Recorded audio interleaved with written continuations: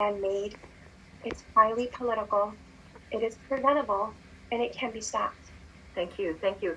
And um, effectively, that's what I'd like to hear more from you. You know, all of the hundreds of people that are joining us in this conversation, uh, you know, would like to know just briefly, how did we get to this place in the war in Yemen today? Just give us a, a brief summary of what's important for us to know, and particularly what's important for us to understand about the Western countries' uh, inter engagement in this in this context. Yeah, I think a lot of people hear about the war in Yemen and uh, they remember the Arab Spring, um, which took the MENA, the Middle East and North Africa, by storm in late 2010.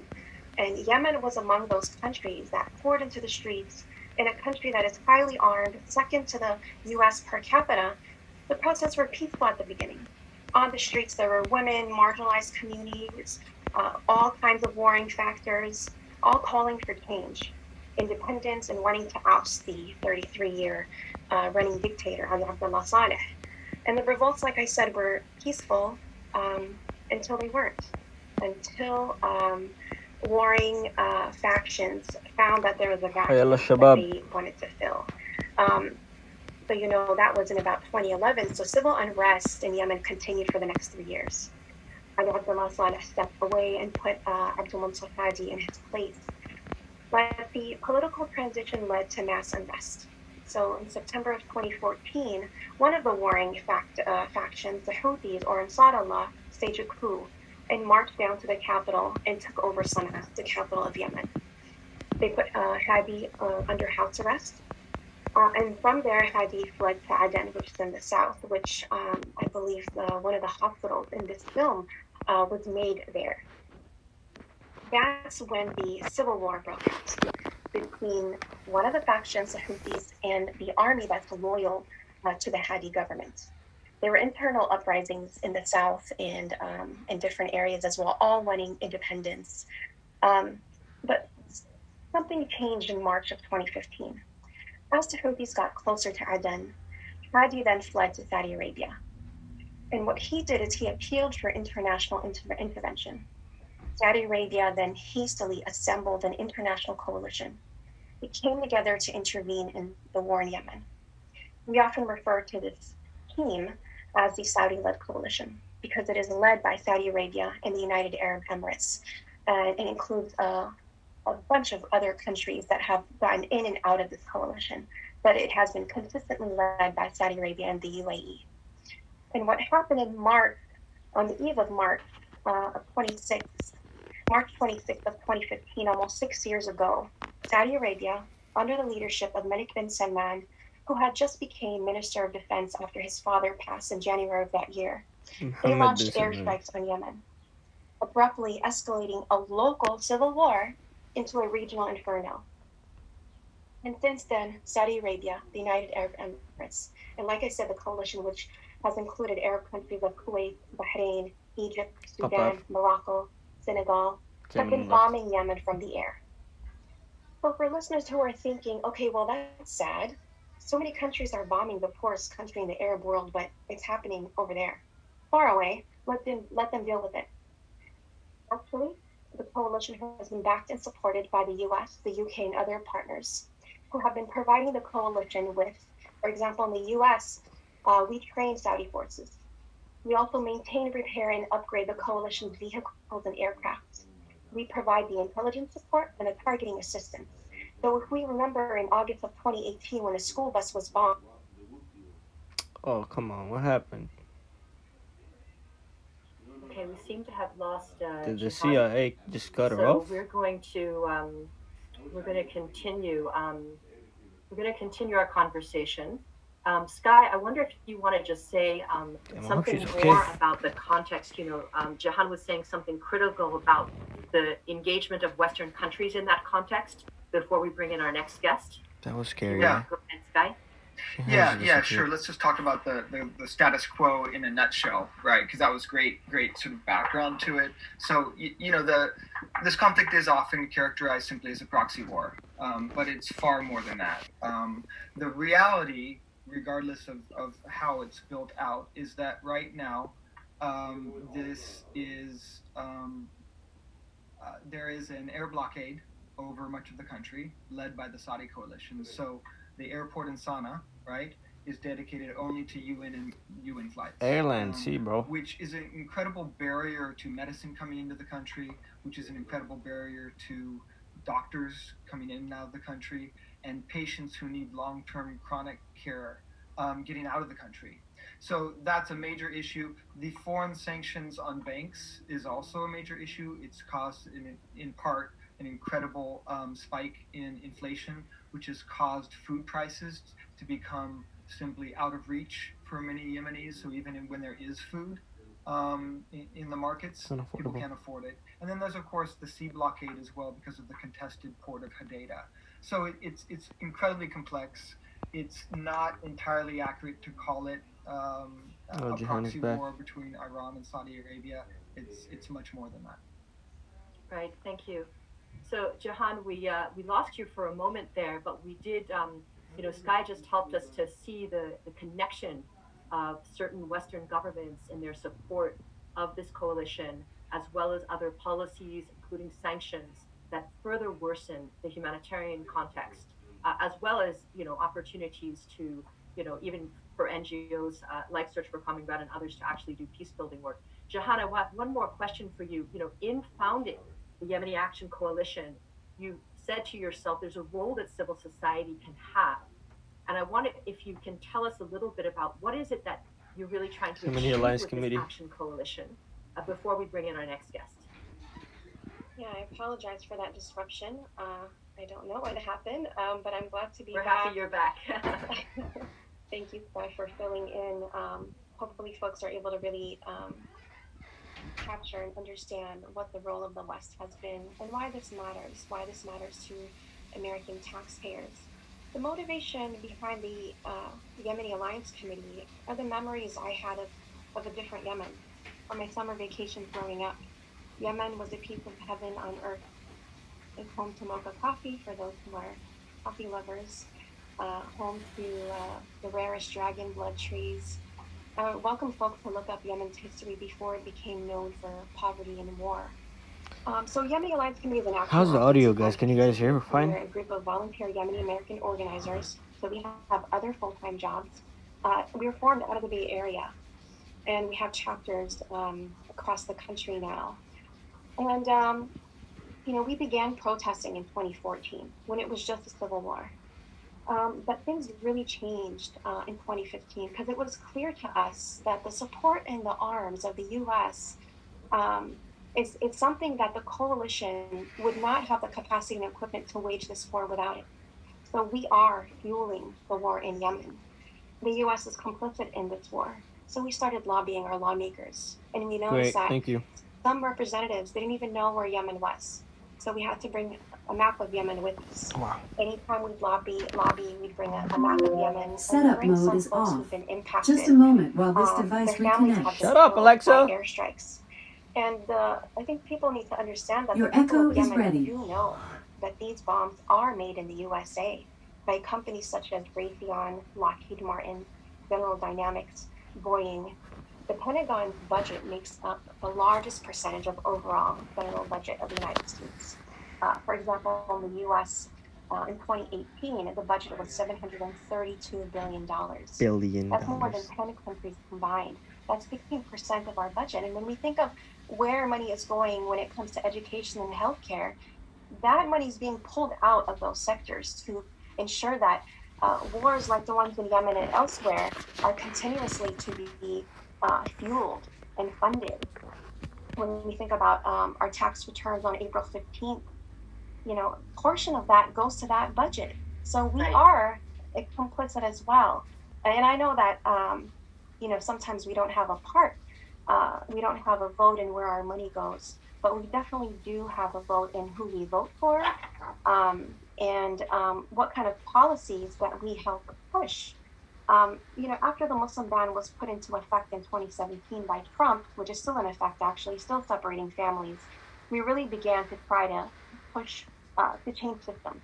So we started working with progressives like Ro Khanna, anti-war groups who've been lobbying to end endless wars in Iraq and Afghanistan, Syria, and Did we lose her again? okay. We're having another technical problem with Jehan. Um, but we've heard a little bit about what that coalition is, and uh, you know, we'll share the link with you as well for to learn more about um, about the coalition. So I'd like to bring in our next guest, um, who is uh, Honourable Andrew Mitchell, uh, UK Member of Parliament. Welcome, Andrew. So glad you can make it today. To all of our guests here today, I want to say that we unfortunately uh, will not be joined by uh, Representative Khanna Oh, at no. a last minute schedule change. But Andrew, you've had an extensive career with the UK government. You've held various ministerial posts, and currently you're a member of Parliament for the Conservative Party. And just to remind, you know, people joining us today, Andrew, that in 2017 you traveled to Yemen to see the effect of the war firsthand. And Oh, wow. upon your return, you organized an emergency debate in the House of Commons. And so I'm very interested to hear uh, what is it that you see as most important for the UK government to be doing about the war in Yemen? Well, good evening, everybody. It's a privilege to join you, and I watched the film, which, uh, as everyone who watches it will feel, is a, a desperate take on uh, an appalling situation. Um, the I became involved because, um, as a humanitarian, I didn't suggest for a moment that I had a political solution to what was happening in Yemen, but I I regarded the situation as a humanitarian, and, and you ask about British policy. British policy, of course, has been incredibly confused because, on the one hand, uh, in Britain, a decision was taken by the government that supporting the Saudis um, was in our security and our economic interest for obvious reasons. There is cooperation in the fight against terrorism with the Saudi intelligence services, and they sell an enormous amount of equipment to Saudi Arabia. So, um, uh, on the one hand, uh, we were part of the coalition, but on the other hand, our taxpayers were funding humanitarian relief. You had at one point the coalition trying to disable all the cranes in Hodeidah port, um, but on the other hand, British money being spent to try and get the trains up and running again. So the whole thing was extraordinarily confused. And very early on, I said that I thought that the policy was profoundly misplaced. This was, of course, before uh, the appalling treatment of the Saudi journalist and the consulate in Khashoggi. And also before uh, the jailing of civil rights women who Lujin were had just load. standing up for their rights in, um, in, in, in their own country. Um, and I went, I went to uh, Yemen. I think I still remain the only uh, European politician who's been into North Yemen in the last uh, three years or so. And I, I went because the UN, whom I knew very well from my time in government there, showed the Houthi leadership in Sana'a what I had said in the House of Commons. And the Houthis agreed that I could come, and the Saudis, I think, subsequently regretted it, but they gave me a, a visa to get into uh, the uh, Yemen. And I went and I spent time in Sana'a, and I spent time in Sada as well, which I was, it's been very, very badly The damaged Houthi the bombing. stronghold. And in Sada, of course, I saw the demining team that was trying to defuse uh, high explosives, and uh, paradoxically led by a British major uh, and funded by the British taxpayer. I went to a school there which had been very badly bombed. I was shown um, weapons markings which had British uh, uh, designation numbers on them.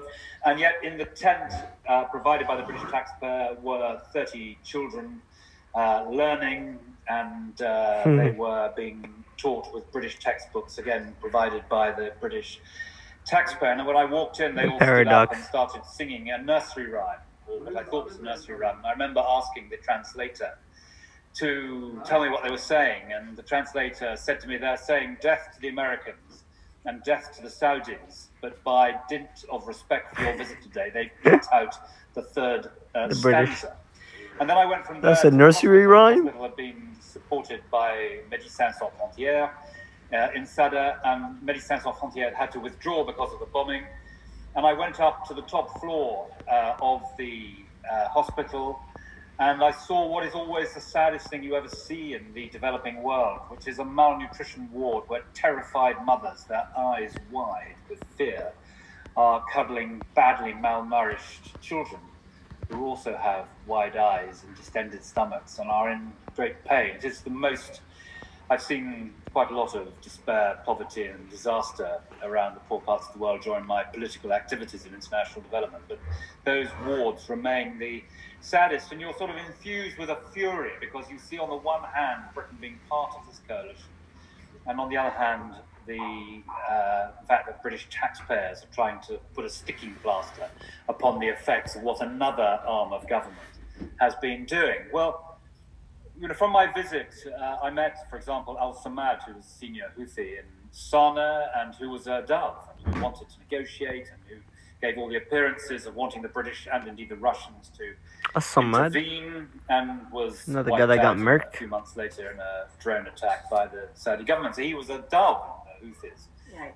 And and um, you know, what, So what Samad I- was I technically the president so of Yemen under the Houthis, and he was killed in, in a drone strike. was that the the um, you know the, the the twin beliefs that it was in Britain's economic and security interest were wholly wrong because of course the more this war goes on the more it will undermine Britain's economic interest and undermine the Saudis. Uh, and secondly, of course, uh, in terms of security, I can't think of any way more likely to radicalize thousands and thousands Yeah. of young Yemeni men than knowing that the death and destruction which rains down from the sky every night on their families and their communities is funded and helped and assisted by the British and the American governments. So, so in, in my view, this has been a terrible strategic misjudgment. Countries do make strategic misjudgments from Gotcha. time to time, and I think we've gradually been sucked into this. And you know, British ministers have talked about the need to get a, an agreement. There's a very skilled British international civil servant who is the UN special representative. You know, it's very it's very uh, slow. Um, and I'll make this my final sort of opening comment. But you know, in the end, these conflicts end in one of two ways. They either end uh, because there's an outright military victory. Well, that, that's not going to happen. That's not going to happen Right. or they end uh, because there is eventually uh, some form of peace conference and some form of structure to bring the warring parties in. And and you know, we did quite a lot of work on Somalia when I was in government, and actually we've made very uh, considerable progress. In Oh, Abdullah just joined to watch his best but friend. what you have to do Jehan is you have to bring in uh, the regional powers. You have to bring in the UN and the great powers. You have to bring in the different militias and the different warring groups, and you have to bring in what's left of civil society because civil society has to rebuild from all of this. So in the end, you're trying to organise a free-ring circus to negotiate, and uh, I believe that is what will eventually happen uh, in uh, Sana'a. But, but prescribing, as Donald Trump has done, the Houthis um, uh, is a uh, foolish, in my view, retrograde step. We need to try and do everything we can to encourage all parties. And I'm certainly not. I should make it very clear that I'm not uh, carrying any form of flag for the Houthis, who have behaved appallingly uh, in the Yemen, as well as all the other uh, forces. Thank But, you. We you needed know, to hear that. Were driven into the arms of the Iranians. This is a proxy war between Sunni and Shia, and uh, you know the Just to make it clear, they were not driven. They were always Yazidis. So then, like um, the founder literally studied in Iran, bro. You know, they are they, they've been driven into the arms of the Iranians, and the suggestion Inaccurate that the claim, Iranians but okay. are able to supply massive amounts of weapons into this conflict are completely ridiculous because the Saudis have uh, have cut it off by land, sea, and air. And, How is there a uh, blockade for aid but not that's weapons? probably enough for me now, but I think Okay. the quali- All right, quality of extraordinary misjudgments that have been made by the international community Yeah. have made this whole situation much worse than it was some years ago. So You've, you've, you've, you've painted a stark portrait of what you still are able to you know, evoke when you think of visiting those places, including the hunger ward that you saw with your own eyes. Uh, you've secondly just talked about how there are different incentives going on, incentives to make the war more severe, as well as incentives to try and actually I have no idea, and to bro. a certain extent ignite uh, a, a peace process. Abdullah, he was actually in Yemen in and- and truly 2017. And he went to Sana'a and Sa'da. outcome for all of those stakeholders you ال- mentioned is اسمه sufficient. We won't actually see progress on that. On that السياسية point of view. الغربية And الوحيدة I اللي wonder, دخل اليمن just بآخر saying, ثلاث سنين. Before I come back to uh, The Jahan, only for- European for your politician to comment on this. enter Yemen What in is the it last that three you years. think is most important for the UK government to choose to do at this point in time, given that you're characterizing it as a strategic misjudgment? So I should explain. It's been a very long day. I meant, of course, Zaidi, not uh, uh, Izidi. Um, but my point is that you know they weren't they weren't automatically an Iranian proxy. They've been I mean, I think that the British government should be doing a number of things. First of all, it should tell the Saudis that the bombing is counterproductive. I mean, no country has ever won a war from the air. You know, and if you're not prepared to put in tens, hundreds of thousands of troops, then you're not going to win. You're just going to cause yet more. They don't even protect their own borders. There's literally Yemenis fighting Yemenis the on the border. Britain, France, and America should be to say, you know, you've got to stop the fighting. You've got to stop the fighting. And if you have to do it unilaterally, then you do it unilaterally. Um, and secondly, uh, we should use all our diplomatic muscle, which is very considerable in Britain's case, with the Americans and others, to try and get people talking, to try and get the fighting to stop and the talking to start. And, and we should put more effort. The trouble is that the world's been knocked off uh, the, the uh, kilter on this because of this dreadful year of COVID and, and uh, the huge difficulties that all countries are having themselves coping uh, with it. But and if that hadn't, hadn't happened, maybe more progress would have been made on the on, on the uh, Yemen.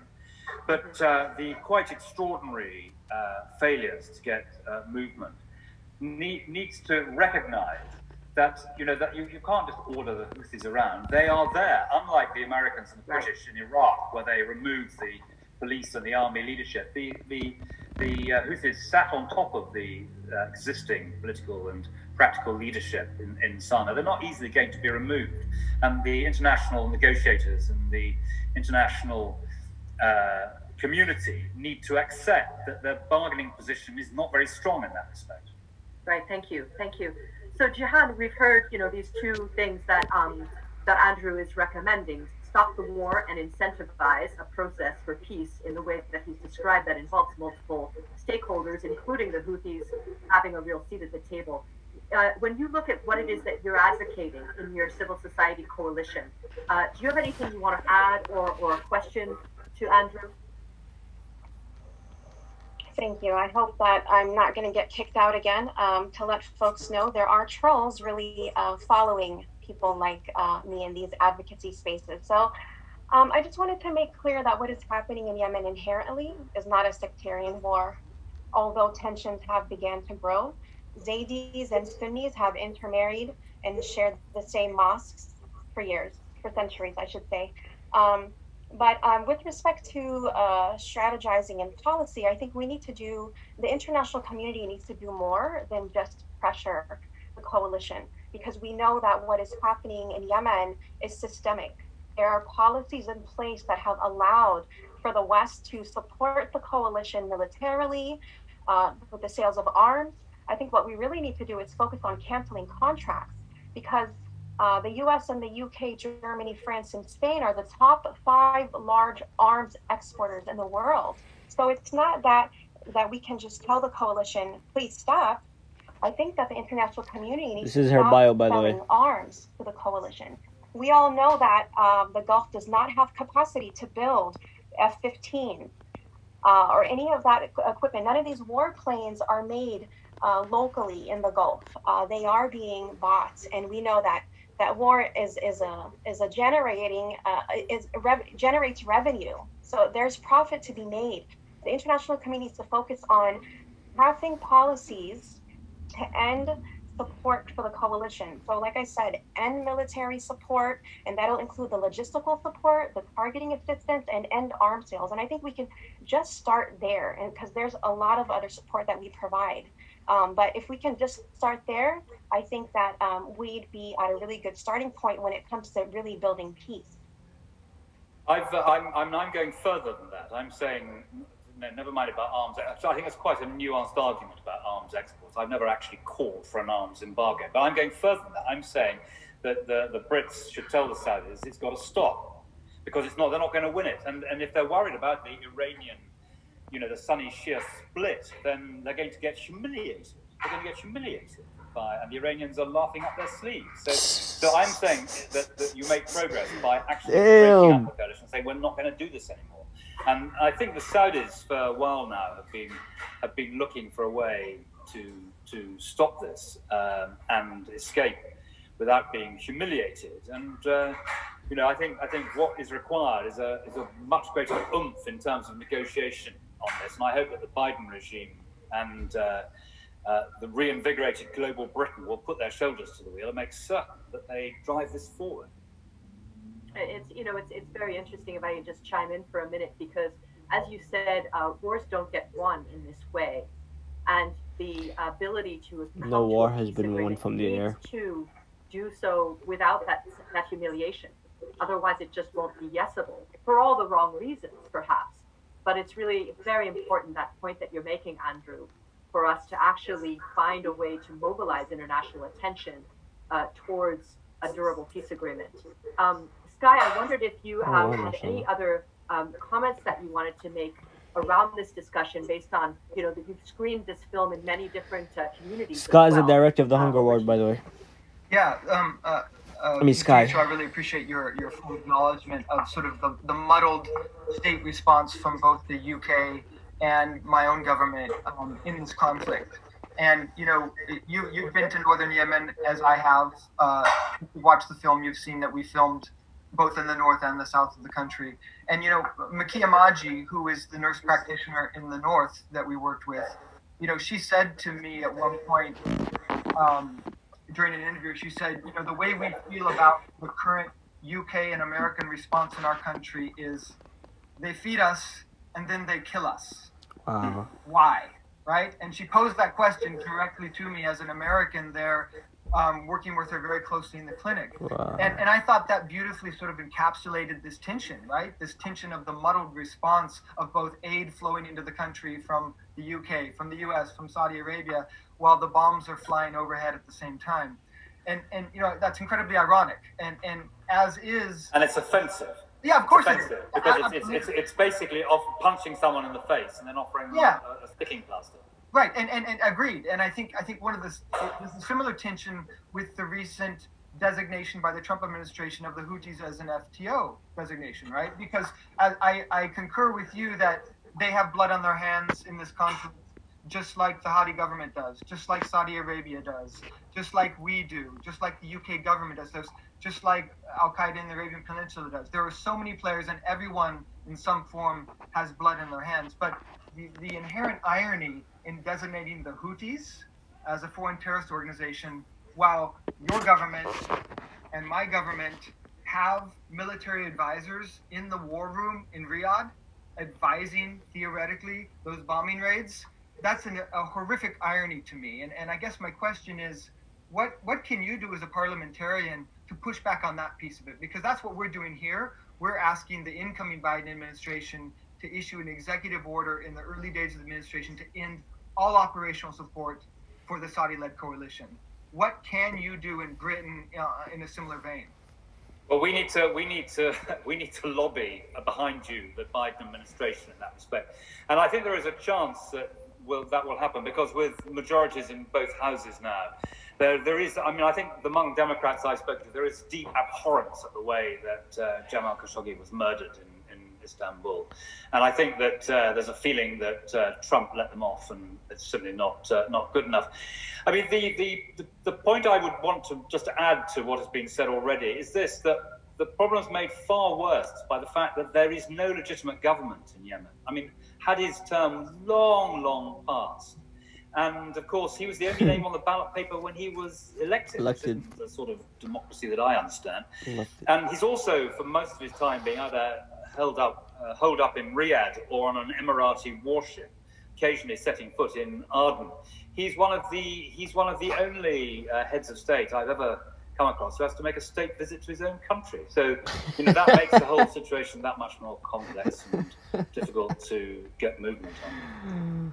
Well, and I, I, I would push back a little bit that you know uh, I, I think there is a de facto government in the country, and it's it's the Houthis, right? And even though they're not globally acknowledged by nation states, uh, with the exception of one, they do have uh, Iran. a, a functioning form of government in the north. Functioning? Whether we want to fully acknowledge that. or Alright, not. guy's a Houthi sympathizer. Yeah, well, I, I, I, but they're in they're de, de, de facto rather than de jure. I think I don't know whether Jehan might want to add something on that point. The question was whether the Houthi. Uh, no, I just thought about the governance, the governance of Yemen. I don't know whether I thought you might want to just make some some uh, some point on that. Yeah, I think um, Yemen is currently under uh, 80% control of Houthi control, right? Um, so whether it's uh, Houthi control, Hadi control, I think uh, that doesn't really matter. I think the, the focus or the What? goal should be lifting the blockade, ending arms sales, and ending the What? role of the West. And when we come, when we think about um, the Saudis being embarrassed because this is a, a strategy that's not winnable, I think we have to remember that it's a Oh moral imperative that that was. the people of Yemen are not being punched; they're being bombed and starved. Um, th- this is really uh, dire, and and two thirds of the airstrikes um, that have been pounding Yemen have hit civilians. So these are violations of international law that the U.S. and the UK have been complicit in. I think I think it's not. Abdullah, look what, what happened to Zach. UK to determine which which way that the Yemeni government should head. Uh, instead, that we should focus on what are we doing to ensure that the peace process uh, is going to continue, and and that and that can only happen uh, is when we end this intervention, and the role of the U.S. and the UK, and let the sovereign nation of Yemen determine which way the government is going to head. What I sovereign mean, I nation, with bro? that, that it's not for the British and the American administrations to uh, involve themselves in the governance of Yemen. It is for them to try and make sure that the fighting stops, and to and as mem- both members of the UN Security Council, try and make sure that uh, there is a structure for negotiation. That I think is is is incredibly uh, important. Um, and um, you know, the, the, the Houthi control is, is, as I say, de facto, not de jure. Um, and I think that's uh, uh, that, that's they shouldn't. I mean, although possession is nine tenths Yeah. of the law, trying to persuade and find ways of persuading the Houthis to negotiate and not just sit on top of this uh, cauldron is incredibly important. Yeah, I think the Houthis will be more than ready to negotiate, or any other warring uh, party, if the West ends arms sales and ends military support. Um, I, I mean, it's going to be incredible, almost impossible to talk with anyone at the table while the West continues to starve and bomb, you know, the, the yes, I, I, that's why I think that's why the key thing is to stop the fighting. Um, and um, Give me a second, uh, guys. as you have so wisely said, I'm going to have to disappear, I'm afraid, in a moment. But um, it's been a it's been a salutary Guys, keep listening. I'll get back to the camera soon. discussion, and at least we're all on the same side in wanting Damn the it. fighting to stop the and is- negotiation to start. That is how this will end eventually, and for the sake of the long-suffering poor people of Yemen, I hope it will be as soon as it possibly can be. Thank you so much for uh, the generosity of your time today. And uh, we look forward to hearing and seeing more uh, of you around this. Thank you so much for your time today. Please don't end the discussion yet. It's not over yet, guys. So, Hold on. you know, Give me a as we second. Pivot, um, as we pivot, I want to just um, hear from you. Uh, uh, maybe first, uh, Skye, uh, if you can share with us a little bit of, um, Three, you know, after having watched the film, two, people have questions to know what happened after that. And um, and I wonder if you want to give us any one. We're back. of any of the, the, the people that we uh, came to know through the film. And then, Jehan, I'm going to come back to you to speak again about how we can all be part of some of the action going on globally around this issue. Skye, go ahead. Um, well, well there's good news and bad news because we, we, we left the country immediately prior to the um, pandemic beginning. Um, but but th- there's good news even within the added pressure of COVID 19 ravaging the country. Um, and that is that, that um, Dr. Al Sadiq, Aida, as well as Mekkia soldier on. Um, they, they are continuing to do this incredible work as medical providers to save ch- children on a daily basis um, and, and that, that inspires me, right? That inspires me to, to continue to do our work, um, to you know, because I, I am I'm even now I, I am angry, right? I am angry that um, children are dying for simple lack of food, even with the global resources that, that we have to bear on it. And I hope that uh, by championing uh, Dr. Al Sadiq and championing Mekkia's work, we can be one small piece of raising global awareness about this and marshaling action. Um, in terms of the children that we show in the film, um, there, there's wonderful news. Um, both Abir, in the north in Mekkia's clinic, as well as Olema in the south in, um, the Aden hospital. They are both well on their way to recovery. Have gained. Why can't they just say the cities' um, names? Why do they have to emphasize the difference um, between north and south? Thriving as children. Um, and uh, Mekkia sends us photos from time to time, and we get photos uh, from Dr. Al Sadiq as well. And and since we've followed them, they're visually completely different girls. And and in addition to that, good news is even better news that both both of them, both of the Go Mekkia and Aida believe that the stunting will probably be minimal with both girls. Um, if the current nutrition program continues. So we're very, very hopeful that um, they're going to make a, mostly a full recovery. Excellent. Excellent. Thank you. That's that's uh, wonderful to hear. I highly Really recommend watching the movie, guys. Um, I'm so happy to hear that as well. Yes, yes. Um, so Jehan, you know, as we wrap up this conversation, uh, you know, it feels as though we could uh, unpack more and really try to understand better, you know, how how do what does it look like uh, for mobilization to try and stop the war? What does it look like to advocate for the right incentives for a peace process? But tell us about what's coming up next week and other ways that people who've joined us today can be involved. Sure, yeah. We've been at this for almost six years now. Um, so we do have an action that we're organizing on January 25th, um, which will be days after the US presidential inauguration here in the US. Uh, it is also a day before Saudi Arabia's Davos in the Desert uh, future investment initiative. Saudi Arabia is trying to garner uh, more funding, uh, which was cut off after Khashoggi's murder. murder. Um, and Yemeni Alliance Committee and core organizers drafted a joint statement, and it's titled "War World Says No War on Yemen." It's in five languages, condemning the role of Western powers in the war in Yemen. Um, so far, 200 organizations from over 20 countries have signed on to this uh, joint statement, and we're really calling for an end to U.S. support, UK support as well, and to Western support for the war in Yemen, and for Biden specifically uh, to pass a war powers resolution with teeth see, we were talking earlier, and um, I think language is important. Um, we need to be really specific about what type of support Eng- uh, does the. West need to end, and it specifically needs إنه to end. إنهاء الإسناد يجب أن يكون محدد باللغة على سبيل المثال يذكر Alright, let's be fair for the people that don't speak English. التي لحكومة بايدن يجب أن تم أن تمنعها بالتحديد ليس مجرد الإسناد بصورة عامة يجب تحديد ما, ما نوع الإسناد التي سيتم تقديمه Let's go back to ومنعه عن English. هذا التحالف آه، الاتحاد السعودي ضد اليمن ونحاول انه نمنع Lastly, the blockade, the hunger. I mean, Hunger Ward really just illustrated how devastating hunger can can hit, especially on children. So lifting the blockade and opening all land Guys. and seaports is the final ask. And on the 25th, there will be protests uh, in New York, California, Chicago, Germany, around the world uh, and we're encouraging folks to hold protests or digital webinars um, wherever it's safe. I know that COVID is, still alive and well. So please uh, join us either online or on the streets. Um, I mean, this is an anti war movement and it's growing into a global one.